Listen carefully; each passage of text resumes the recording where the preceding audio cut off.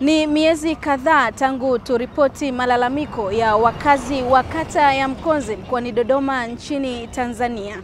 Walitishia kufunga barabara iendayo Iringa na kuingia ndani ya mji kutokana na vumbi lililochanganyikana na saruji kutimkia kwenye maeneo yao ya kazi na kuwaathiri kiafya. Vumbi hilo lilitokana na kubomolewa kwa kipande cha barabara ili kupisha ujenzi wa reli ya kisasa ya SGR. Baadhi walimlalamikia mkandarasi kwa kutojali hisia zao. Hata hivyo, serikali sasa imeanza kuchukua hatua.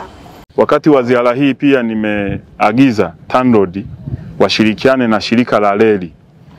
Miundombinu tunapoiruhusu maendeleo mengine yaje, pia tunawajibika kuirudisha miundombinu iendelee kuwahudumia Watanzania.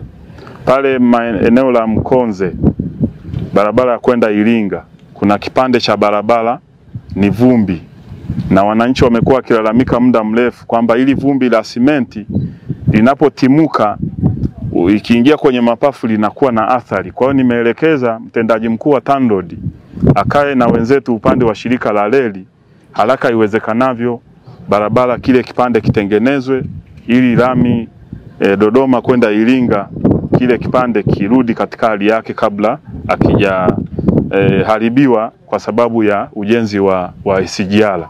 Ni agizo la muda mrefu kiasi, lakini wakazi wanasema hadi sasa hakuna kinachoendelea. Sasa mpaka leo na mtangazaji, bado tunakula vumbi na hali ni mbaya, watoto wanaumwa, watoto wanakohoa, vifua vimekuwa vingi, hali imekuwa ni mbaya. Sasa mimi nashindwa kuelewa kwamba hawa watu wa TANROADS na TRC labda wanataka waone watu wamepakiwa kwenye jeneza wanaenda kuzikwa, labda ndipo watakapokumbuka kuja kulifanyia maagizo swala aliyotoa waziri kwa sababu haingii kichwani kabisa kama waziri anatoa maagizo alafu wao wanakaa kimya. Nia yao ni nini? Labda ningependa kumuuliza labda mtaalamu, labda waziri wa afya Umi Mwalimu kwamba je, vumbi vumbi ambalo limechanganywa na simenti kwa mwanadamu lina madhara gani? Sasa awaambie kabisa watendaji hawa wajue kabisa kwamba hii hali sio wananchi wanapata shida na muda wote, si kwetu ni kifo. Yaani ni vumbi, tumeathirika, macho yanauma, tunapika mavyakula yanajaa mavumbi walitoa lami yetu, hawataki kuturudishia hii lami. Hatujui itakuja lini. Wachangisha hata mchango, wangetuchangisha hata kutuchangisha ili hiki kipande kiweze kurekebishwa. Yani hapa tulipo macho yanauma, madhara makubwa sana, vumbi nyingi sana, tumeathirika tu sana.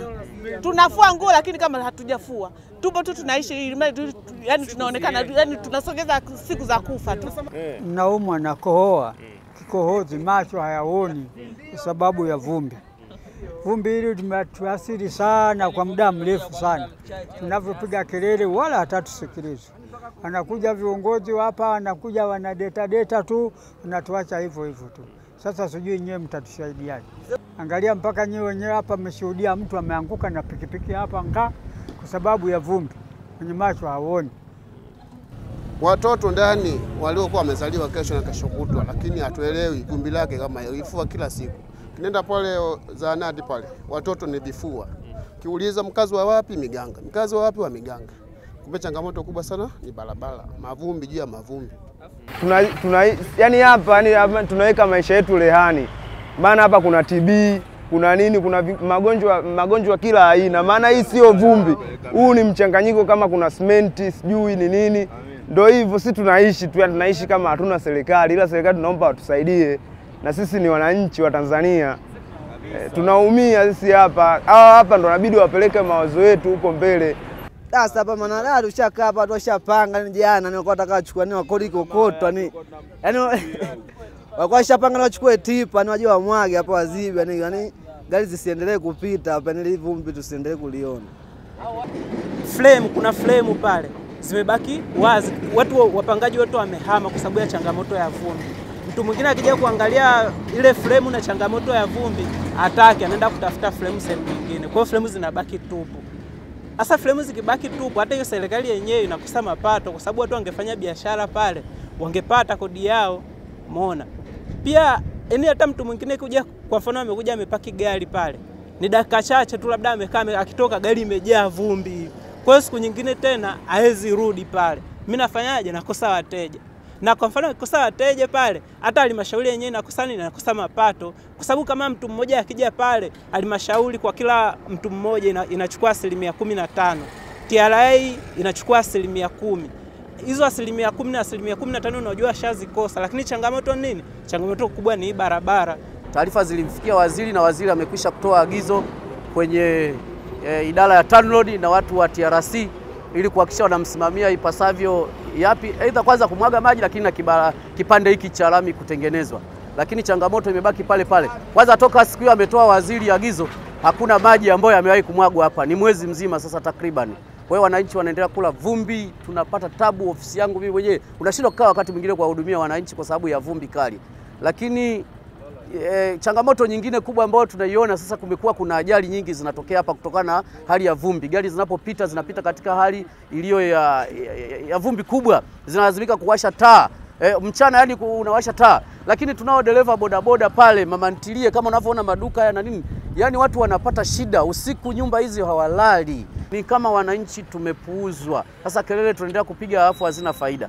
Kwa hiyo mimi naamini Bashungu alipo huko anasikia, lakini kilio hiki pia kama mama Samia atakiona eh, basi na aone namna ya kwenye. Mpambanaji wetu, msemaji wetu wa Chama cha Mapinduzi Makonda, kama upo utaniona, nisikie. Kuna watu wanazembea hapa kazi, kuna watu hapa hawafanyi mambo vizuri. Hebu njoo uone wananchi wako wanateseka. Mimi kwa kweli naamini mambo mengine yote wakifanya hapa tutakuwa tuna kelele na jambo litaenda vipi. Biashara ziende, hadi biashara zinahitaji kwenda, lakini biashara ziendi kwa sababu kuna changamoto kubwa kama unavyoona, na ajali zimekuwa nyingi maeneo haya. Sasa wasije watu wakawa nazidi kuumia na kufa nini, lakini watu wanazidi kuumia. Bodaboda wetu, hiki ndo kizazi ambacho tutakitumia baadaye. Sasa wakiumia na vumbi hivi, maana tutakuwa tuna watu wenye vifua vikuu, wazee wenye vifua vikuu miaka kumi ijayo wengi, kiasi kwamba sasa wataonekana kama walivuta masigara, kumbe walikula vumbi mwaka 2023 pasipo kujua. Hapana shaka hali hii inawaathiri wakazi kuendelea na majukumu yao ya kutwa, lakini kutekelezwa kwa agizo hili ni mwanzo na ni fursa nyingine kwao kuendelea na maisha ya kawaida. Agnes Peter, TMC News, Dodoma.